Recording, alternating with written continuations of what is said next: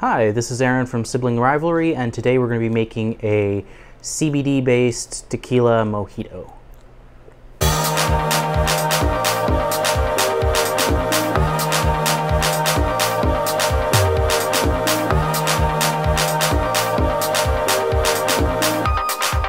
Martini, shaken not stirred. We're going to be making a CBD based mojito using tequila and this CBD elixir from Hydropothecary, which has now become Hexo Corp. So the CBD will boost the calming effects of the alcohol and provide a medicinal after effect that will help with anxiety and pain. So let's get started. So we're gonna get started with a few ounces of tequila. And I just have to make sure that I pour the tequila into the right thing. And you notice that I'm putting this over the shaker so that if I spill it, it doesn't spill all over the table, like in our photo video. Watch that if you want a good laugh. So here we go. This will actually be my first time in a long time making a mojito. First time doing it with tequila, and definitely first time doing it with CBD. I actually am a medicinal user of cannabis, and this is actually my preferred method of consumption.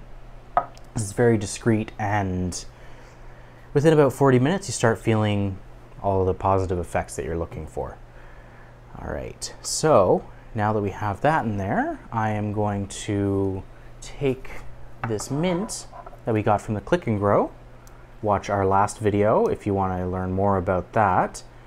So I'm just going to take the leaves, set them in there, and we're actually going to use the spoon here as a improvised muddler because we don't have a muddler yet. Looking at adding that to our mixology kit. So this may take a few seconds.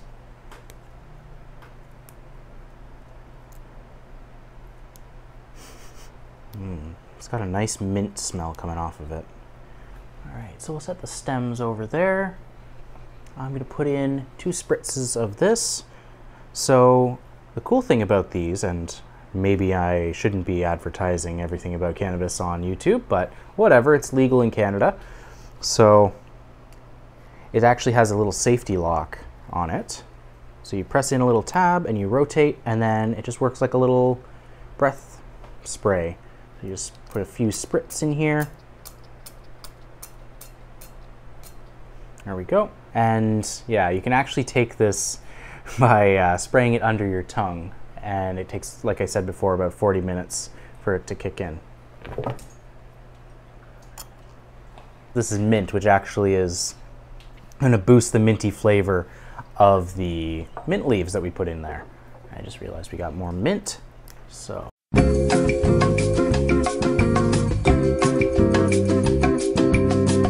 right, so let's mix this up.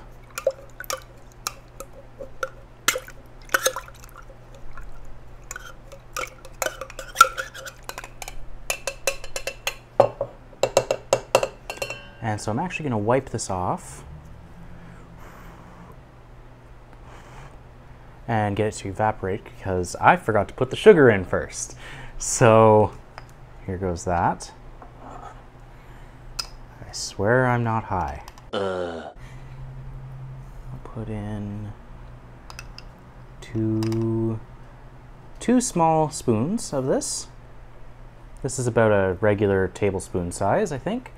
So if you're following along at home, two tablespoons of sugar, ideally without the oil and everything else being on the spoon already. We're to set that off site. We actually got some orange bitters to add a bit of a citrusy tang to the mojito. So I'm to open this up. I'll put this in. This is actually a Dillon's brand small batch bitter, which I believe they're done here in Ontario. Yep, they're actually done in Beamsville, Ontario. Which is my grandparents actually live out that way. Fun fact. All right, let's put some ice in here.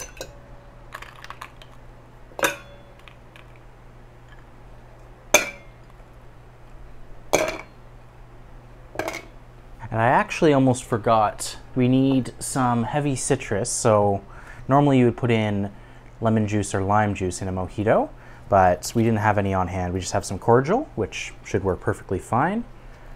And let's put that in there, because otherwise it's pretty much just tequila.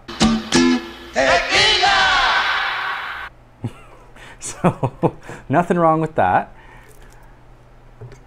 And I'm just kind of improving the amount here. So we'll set this off there. Put this on here. And remember kids, assemble your full shaker before you start shaking.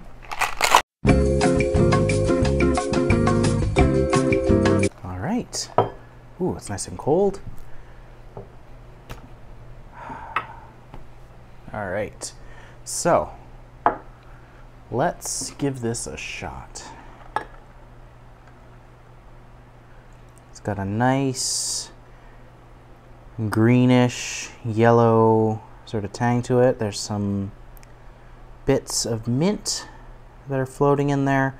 With a mojito, you would serve it in like a martini glass or something similar, and you would do some garnishment with mint, or you could even use some salt in there. Uh, but yeah, we're just doing kind of bare bones today. So I'm gonna give this a shot. Mmm, it's got like a nice citrusy smell, but it's not like an overpowering citrus.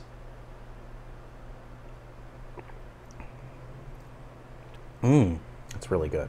You can actually taste all of the uh, the mint that we put in there, and the CBD oil actually adds a nice bit of a kick to it because it's like a potent peppermint oil that it uses for the CBD oil. That's really good. Well, I hope you enjoyed this as much as I am. Thank you for watching, and please like and subscribe, and make sure to follow us so that you don't miss out on any future videos. We're going to do a few more of these cocktail videos, and we're probably going to go back and revisit photo development and do some other fun projects and branch out in the future. Again, thanks for watching, and have a great day. I don't know what I'm doing.